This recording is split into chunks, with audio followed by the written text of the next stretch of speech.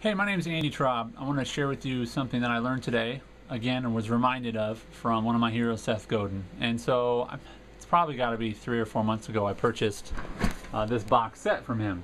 And it's a box set of all of his books, of which some I already owned actually, but I went ahead and bought the box set. It's made out of wood. It's a pretty sweet little deal, collector's item. Uh, I think the proceeds went to an organization that he supports, which is awesome.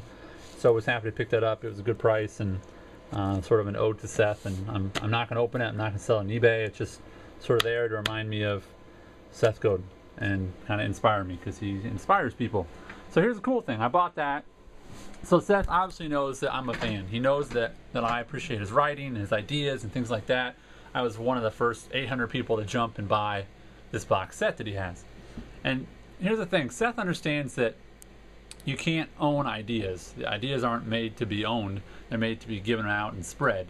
And he understands that I like his ideas. And so uh, he gives me as many of his ideas as he can. So that's whether that's through his daily blog, which you need to subscribe to if you don't, SethGodin.com, G O D I N. Uh, but he understands those ideas are ones that I already uh, prescribe to and that I, I want to spread. And so what does he do? Well, today I opened my mail and I got this envelope. All right, and what do you know? It's Seth's new book called Linchpin.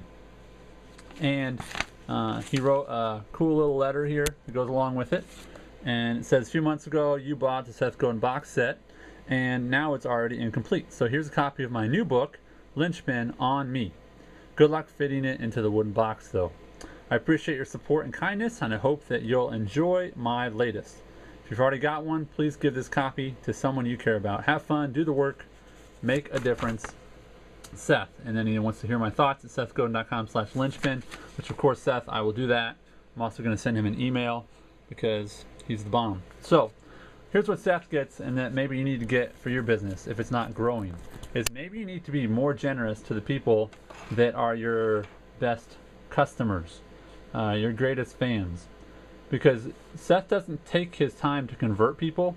He really preaches to his choir, and and those people like myself go and spread his ideas. So he didn't ask me to make a video and put it on YouTube, but I'm going to because I appreciate that he shares his um, his ideas with me. So I'm going to share his ideas with other people as well. So Seth, thanks for the book, man. I'm looking forward to reading it. Uh, I've heard amazing things about it from my friend John Dale, uh, who spent about six months with you for your uh, six month MBA program. And uh, I'm just totally pumped to have this. So thanks for the book. And uh, I will work to make myself indispensable. And uh, appreciate your generosity. And if you haven't picked up this book, then you need to. It's a phenomenal book about business and about people. And um, so th- thanks, Seth.